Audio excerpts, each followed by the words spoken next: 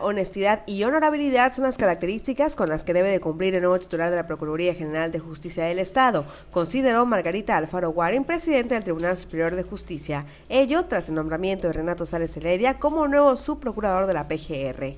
Ante esos cambios, Alfaro Guarín afirmó que en Campeche se cuenta con los abogados de alta calidad que puedan continuar con los trabajos que Sales Heredia realizaba al interior de la PGJ y de esa forma continuar garantizando que la entidad siga siendo de los estados más seguros del país. El abogado campechano eh, se ha distinguido a nivel nacional siempre, históricamente Campeche ha aportado a la, a la nación abogados de, de, muy buena talla, ¿no? profesional y talentosos. Estoy segura que quien venga tendrá esa enorme responsabilidad y la cumplirá con éxito.